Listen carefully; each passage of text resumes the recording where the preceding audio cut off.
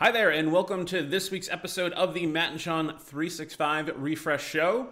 This is episode 8 for the week of January 25th, 2021. And uh, it's a new week. Sean, anything uh, new since we chatted uh, last week? Is it a new week? Is it really? Because as far as I'm concerned, it's March 16th, 2020, and has been for the last 262 days. Oh, I hope I made that number up correctly. Yeah, I never. I, I, feel like we've been gypped out of uh, St. Patrick's Day. We're on uh, Groundhog Day before St. Patrick's Day since then. Oh, I know. I was robbed of every holiday. I have uh, that Cher song playing every morning. That's my wake up song now, too, to, to really match with the movie. Yeah, exactly. I like it. No, I'm, yeah. I'm good. You know, it's just it, one day at a time. Uh, it rained out here in the Bay Area, which, for those of you who are familiar with the Bay Area, is a thing that doesn't happen out here. We're normally just kind of 72 and sunny. Uh, mm. You know, maybe a light breeze. You know, really tough stuff. Um, speaking of which, how's the weather in uh, upstate New York, Matt? It is freezing cold right now, but it's actually very nice out. It's nice and bright mm, like here because the sun is out. No, like 10, I think, is the uh, 10 degrees Fahrenheit about is what it is. That was right close. Now, so you have the thing. Um, when I was out in San Francisco last year, last February, before the whole world changed, I learned that the fog in the Bay Area has a name. Oh, it's Carl. Yeah, Carl with a K. Yes, and do you know the story behind that and like why that's a thing? So, it's probably not the correct story, but my understanding is it was a Twitter account, like just a, a Twitter account of named course, the fog Carl. Yes and you know took on the persona of interacted with a bunch of kind of Bay Area brands, Weatherman like San Francisco Giants, yeah, right. exactly, and uh, yeah. it just kind of took off. That's my understanding of it. Uh, and so, for all these people that say that Twitter isn't real life, you're wrong. Yeah, it was funny because just I, we uh, I stayed in a hotel in downtown San Francisco before I went to the conference that was down at the airport, which you know the airport's like 45 minutes away from the city because I, I wanted also to check out not. San Francisco. Right, exactly. Burlingame uh, I wanted to check out the city, and like references to Carl were everywhere, and I'm like, who is Carl, and what did he do? You know, like, but nope, that was that was what it was. So, all right, cool. All right, well, I think it's probably time to kick off uh, with some updates on the Microsoft 365 365 side of things, and not just the weather of the uh, you know of Silicon Valley. So uh, why don't we just kick off with the news? This is the news. Released this week with an accompanying blog post, Microsoft is making available their internal release planner app for the Power Platform as a sample solution. The app, which includes a model driven Power App, accompanying flows for Power Automate, and integration with Dataverse, serves as the hub for tracking internal features and development across the entire business apps team, which includes both Dynamics 365 and the Power Platform. The release itself isn't a feature per se, nor is it an officially supported offering. However, it's a great showcase of what's possible using the Power Platform to get real work done at scale across an organization. The blog post is a great read, and the app is available to download, deploy, and customize today. We'll include a link to the post in the show notes. After being announced at two different virtual conferences in 2020, the SharePoint App Bar, Microsoft's new global navigation structure for SharePoint, has finally made it to the roadmap. According to Microsoft, the SharePoint app bar brings a consistent navigational experience to every site on your intelligent intranet. It features quick access to important sites across the organization with global navigation, personally relevant sites, and the newsfeed. The app bar is scheduled to release in March this year, just in time for the kickoff of the second half of Microsoft Ignite.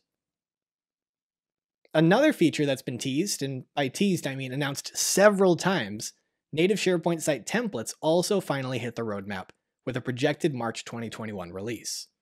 Microsoft emphasized the feature as one that will help organizations leverage existing SharePoint capabilities, things like pages, lists, libraries, branding, to quickly build or redesign sites faster and help site owners get inspired.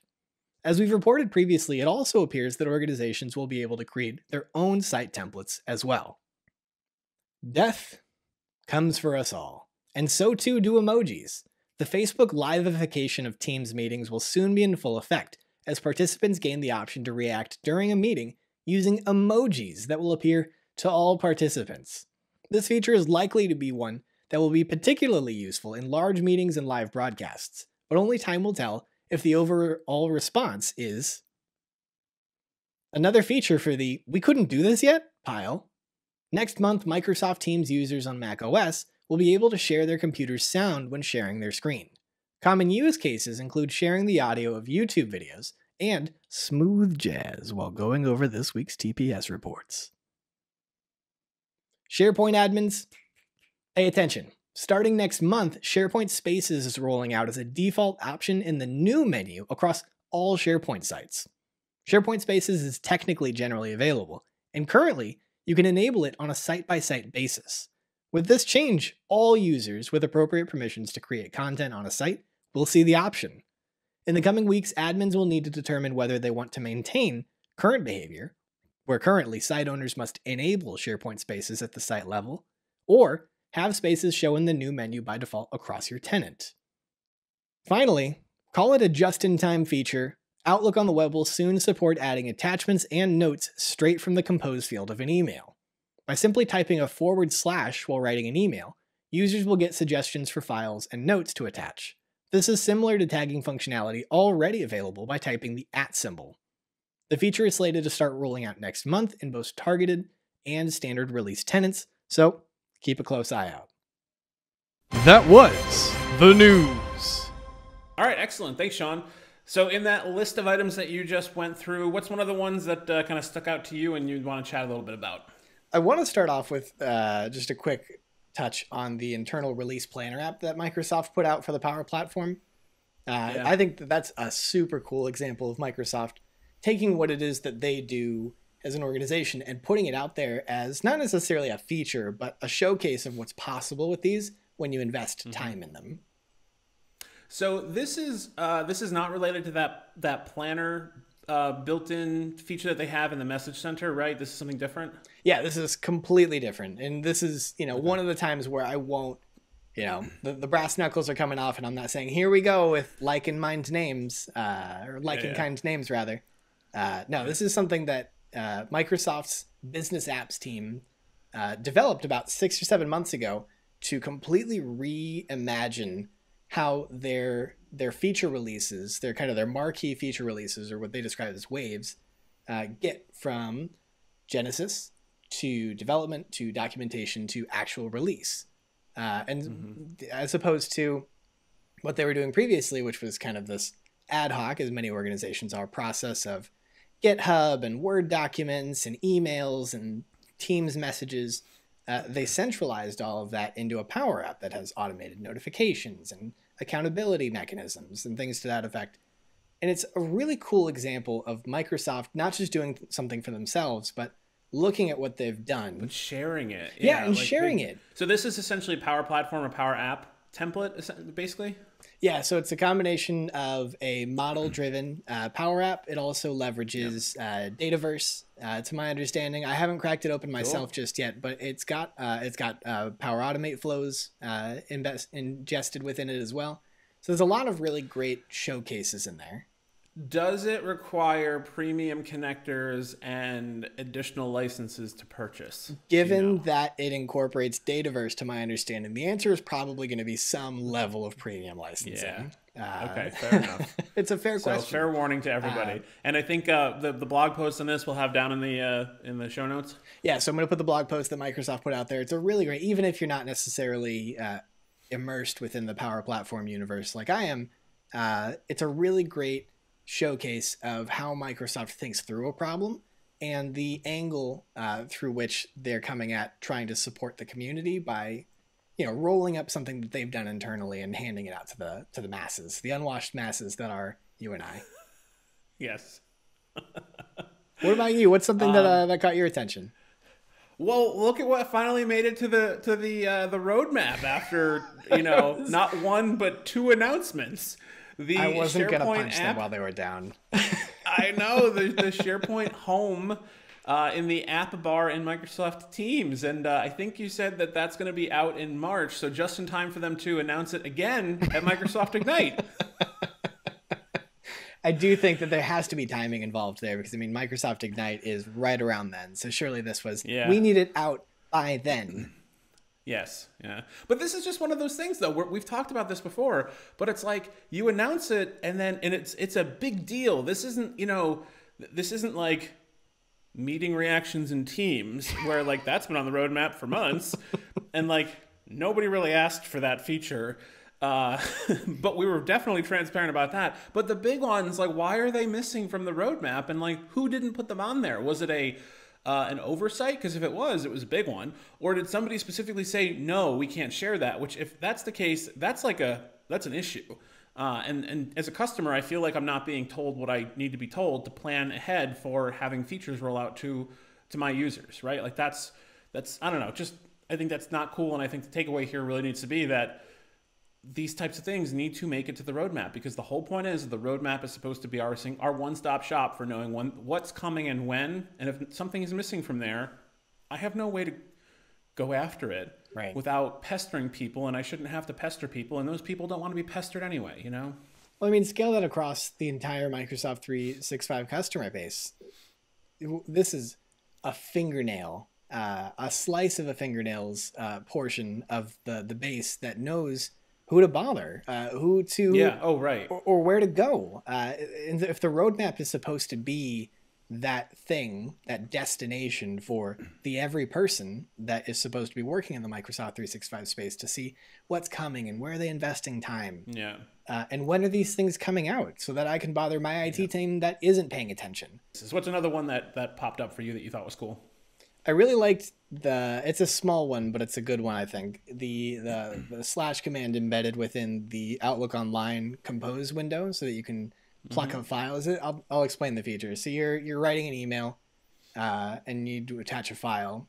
You you know, dear Matt, here's that file you keep bothering me about. I can just hit a slash command, uh, the forward slash, and it will trigger a search across uh, SharePoint, OneDrive, and uh, interestingly enough, and it makes sense, uh, Outlook Notes.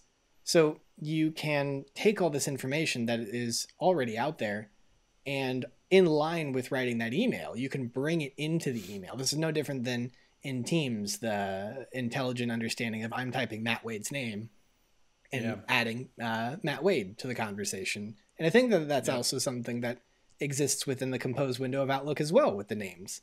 So it's just, it's such a small feature, but it's a quality of life feature that will more than 10% of the user base use it? Probably not.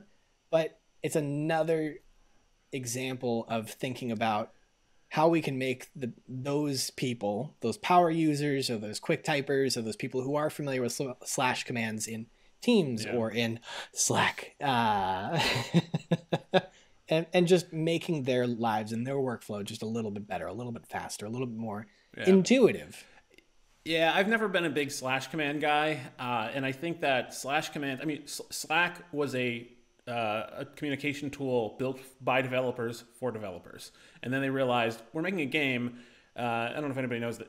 For people that don't know the history of Slack, um, the guy that created uh, Stewart Butterfield created Flickr and then went off and started to develop a game. The game was a flop, but they developed this internal communication tool that they ended up realizing, oh, we could sell this, and that eventually became Slack. And they are used to having slashes and doing command command line coding, which is something that people like me don't necessarily do Sean, I think you're a little more technical than I am, so that might be something that you like more. Um, I, I, will say that slash commands do nothing for me. Couldn't care less about them. Uh, and Teams really only incorporated them because Slack does it, so they have to. And I, even just last week, I was going through the, the, the Teams user voice to see like uh, looking for something, and one of them was need, we we absolutely need more slash commands. And like one of the more the top comments on it was like, "This is a critical feature. You can't even use the, the app without it." I've never commented on a user voice before ever. I logged in with my Facebook account. I commented and I said, "Do not waste your time. This is not a critical feature." like, because it's such a small population that actually cares about it, which I'm sure I'm going to piss off people that are watching here because it would be that population that would use it. But like for the typical user, they have no idea that slash commands are there. It's a it's an education issue, which like, am I going to spend time on that or getting them to understand and use at mentions correctly if I only have their time and attention for three minutes? You know, like that kind of question. So but, it's funny you mentioned that. Yeah, I, uh, it's interesting. It's, in uh, the Slack community that I'm a part of, uh, that mm-hmm. you know the kind of the internal incubator that they run to get a sense of kind of like market uh, customers and how they're oh. using it.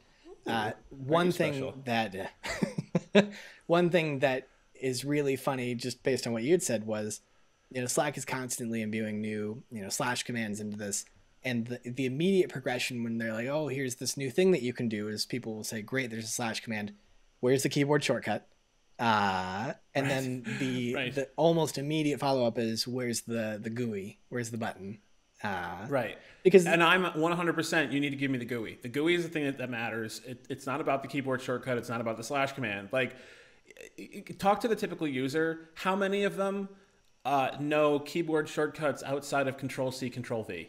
Let's. I mean, being honest here. Like, no, yeah, I don't. I have the Right, ones like- that I do. Like even as a power user, I have the keyboard shortcuts that activate certain apps on my computer, but Yep. that's it. Yeah. And there's there's a few that make my life easier. I get the emoji keyboard on my Mac. I getting the search bar for for uh, Mac OS search. You know, the few of those things. Like, yep, those are big ones for me. But like me specifically, like I happen to launch my apps using search. I don't go to the you know the doc, the dock or you know to the launch pad or whatever.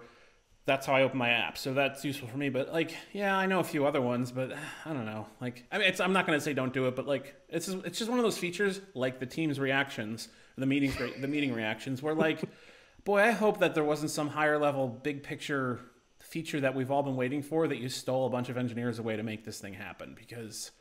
I don't care if people are applauding me or hurting me while I'm giving a presentation, you know, in Microsoft Teams. It's just, ugh. Uh, that's something that nobody asked for. But sorry, I'm derailing the conversation there. I guess. Tell me how you really feel. I know. I will always tell you how I really feel. What's uh what what's something else that caught your attention? Oh, the last one. I just want to say the uh, SharePoint Spaces being added to the new button in SharePoint. I have so many thoughts. TikTok, TikTok. I'm still waiting, and I really want to be proven that my assumptions are incorrect. I want to see a good use case for SharePoint Spaces, one that's not a kitschy, you know, one-off thing. I want to see it actually being used by real people for actual business work. That's not just a different way to get to my files. Right. And I haven't seen that yet. And so much effort has been put into the SharePoint spaces. And I feel like it was just for following along with the VR fad. I just rewatched Silicon Valley, still hilarious. Oh yeah, it holds and up. like even they got on that whole big thing about how VR is just a fad. And I always thought to myself, VR is a fad. I'm like, yeah, you can get an Oculus, but like you're still standing in one spot. You can't like, you know, move kind of thing. And maybe it's not for gaming, but for work, you know, I guess, you know, in the situation where you're designing uh, you know, parts for the International Space Station, maybe. You know, that's fine. But like for the typical knowledge worker that's just pushing paper as their job, you know, process, which no offense to them, I'm that kind of person too. But ultimately what I do just pushes content, right? Like, you know, out. It's not gonna get me anything. So I don't really get it. I'm I want and this funny enough I think I'm gonna tie want this it back to work, what we were talking about when we kicked off our conversation here, you know, this idea that Microsoft doesn't necessarily want to muddy the waters of our own perception by showing us how we should be using a feature. And I disagree. And I think that this is something where you need to inspire us because show me. I need I need a really good lookbook for spaces. I do. I, I need something that's going to make me think, what if? And I don't have that right now because I, being able to three dimensionally see my org chart isn't doing it for me. You know, I think about what my organization does. Uh, you know, like we, uh, we're, we're an MPO or a metropolitan planning organization. So we do housing and transportation planning across the, the Bay Area. And it would be super cool to have 360 views at the top of every bridge that we manage, uh, the tolls of, you know, like things like that. But that's not necessarily functionally pushing the ball forward. You know, but at least Right. it's more than what we're seeing here, where it's, you know, to come back to the Jurassic Park joke, where it's just, I can touch this folder. And I'll say, as an admin, I'm disabling it tenant wide. I just don't have. Ooh. I am. Uh, you know, the ability to words. you can d- you can enable it on a per site basis, and we'll continue to know you that. know facilitate that. But yeah, like that, I'll be disabling it tenant wide because the reality is we don't have a use case for it, and not only don't we have a use case for it, but you know, God forbid that one of my one of my units uh, goes and creates a spaces site and doesn't know what it is and is now confused, and now SharePoint is confusing, and now no, I'm not going to use SharePoint. Let's end that there. And uh, let's actually bring that into the uh, community uh, content of the week, Sean. So, upcoming events, uh, we have only one change from last week. So, on the 28th of January is going to be Collab Days Birmingham, uh, 29th, Power of the Cloud Power User Virtual Conference. And then, new this week, uh, announced for February 13th, is going to be SharePoint Saturday Cairo, Egypt. Uh, February 27th, Scottish Summit, and uh, Microsoft Ignite is still scheduled for March 2nd. And that brings us to the community member of the week. Well, actually, no longer is she a community member. She is uh, recently hired by Microsoft, so the timing worked out well here. But I wanted to give a shout out to Erica Toelle. Congrats on her new position at Microsoft. She just took a role as a senior product marketing manager for information governance and records management. She is like a royal uh, member of the royalty of records management. Uh, she is up there with uh, Joanne Klein and uh, that kind of uh, group of folks on compliance and uh, uh, all that stuff that I just really don't know, and I always have to reach out to them when I have a question. But they, she is awesome in person. She does a lot of event planning and just no BS, but also knows how to have a good time. Uh, and I've had a really, really great experience with her. She just knows so much, and uh, I think she's going to be a, she's a really great get for Microsoft. I can definitely say that. Yeah, what an asset! I think, you know, I've known for as long as I've been in the community, I've known Erica. Uh, she was one of the first people that I met uh, next to John Levesque. We jumped off the uh, the Stratosphere in Las Vegas uh, together Nice. a couple years ago. Very that cool. was fun. Um, She, funny enough, is indirectly the reason you have an American Express card uh, because you Yes. have one because I have one Because of and you, I yes, have one because Because of her. Erica had one and she let me into the Yes. uh, the Centurion Lounge in Seattle and it was Yep. no going back. Uh, Yep. if you want to know anything about travel rewards and credit cards, she's better than the points guy. She's better than NerdWallet. She is just oh my.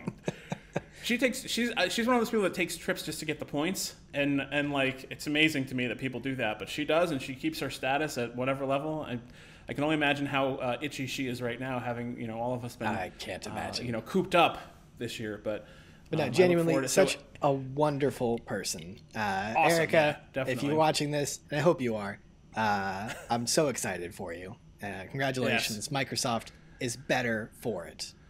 And Yep, uh, best of luck. absolutely. They uh, they're lucky to have you, and uh, look forward to seeing you again at a uh, an event in the future, which I know we uh, we definitely will, because uh, she's she's involved in so many of the SharePoint Saturdays too, behind the scenes. Whether you know it or not, she does a lot of the planning work or like consults basically on it. So. Just an amazing person, and just knows so much stuff about that uh, that realm of SharePoint and and uh, and M365 that I just don't know. So, many thanks to her, and good luck and congrats on the new role, definitely. All right, so that brings us to the end. Uh, Sean, what's up for you this week? Anything good? Now I think this week, you know, like I said, it rained here in the Bay Area, so this is it's it's kind of that reset moment of you know just kind of getting everything in front of me and figuring out what what pressing things I need to focus on. You know, we've got new projects at work. Uh, I, a lot of people don't know I'm in school. Uh, you know, trying to wrap up my bachelor's degree, something that's been Yeah. ten years in the making. So I'm back in that business stats right now, which is Ooh, God. fine. Uh, it's I not calculus. You know, I'm so glad I'm out of calculus. Oh, I would take calc over probability and statistics any day. no, it's just the the differential between logic and the actual mathematics piece of it. I'll take stats. Um, but yeah, Okay, so you it's can have it. It's all you. yeah, it's uh, pretty regular stuff for me here. What about you? How's your side of the fence? Uh, so I have been working a lot on SharePoint uh, and building out uh, some websites, and I haven't actually touched modern SharePoint a whole lot uh, in a couple of years, and actually like building content. And I've been actually really pleasantly surprised by all the feature sets in it. Um, also, some of the you know idiosyncrasies that are annoying to me, but um, I'm, I'm really looking forward to putting together the uh, um, some corporate homepages uh, internally soon for different organizations within our you know big network, and um, you know working with like the comms folks on these are the features that you have and already seeing just how happy they are compared to the SharePoint 2013 internal that they're Night used and to. day difference. Because you know, yeah, and I, I, I always have to preface my meetings with people because immediately when I show them some of the stuff I worked on, they'll go, "Oh my God, that's beautiful," and I go, "Hold up." This, this this conversation is not about how pretty it is. It's about the content and is the content good, right? Like you know, a, a, a crappy looking website can have good content, and like Amazon.com, eBay, and Craigslist are popular websites for a reason because the content is good. But yes, it is pretty. But get over the pretty factor. You know, like it's. but you know, for the folks that are going to be managing this, the fact that the pretty factor is is strong and that they like it, that's a, a great intro to get them into it. So. Um, Another shout out for the SharePoint surprised. design team. Yes, yeah, yep. That lookbook too, showing off what what things can do, um, and actually trying to dissuade people from using the lookbook as a template source. They, a lot of them want to import the actual template, and I'm like, nah, don't do that. Like, look at it piece by piece and like put it together in your head. Think about the content that you have and like try to fill those parts and put the parts together. Don't look at one of the templates or one of the design examples and think like, oh, I have to fill every space there with whatever I have. That's not the right way to do it. Um, so I've been that part's been a little bit. Um, uh, there's, there's always a little bit of pushback there where it's like, ah, I just want the templates. Like, nah, you really don't though. You want to play with the, the web parts. Just play with the web parts. Trust me.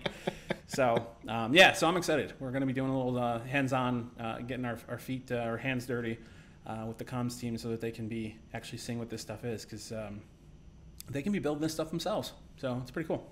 I'm looking forward to hearing more about this. Keep us posted. Yeah, definitely. So, all right, so that's it for this week. Um, as always, a like and subscribe is much appreciated. And um, if you have any sort of thoughts on this conversation, please leave your thoughts in the comments below. Not up, they're down, they're below. And uh, I think that's about it. So, Sean, thanks so much for joining me this week. I look forward to seeing you again next week. And um, we'll see you all next week as well.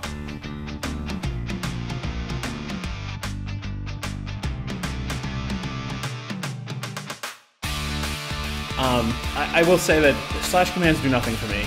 Couldn't care less about them. Uh, and Teams really only incorporated them because Slack does it, so they have to. And I, even just last week, I was going through the, the, the, Teams user voice to see, like, uh, looking for something, and one of them was, need, we, we absolutely need more slash commands. And, like, one of the more, the top comments on it was, like, this is a critical feature. You can't even use the, the app without it. I've never commented on a user voice before, ever. I logged in with my Facebook account, I commented, and I said, do not waste your time. This is not a critical feature. like,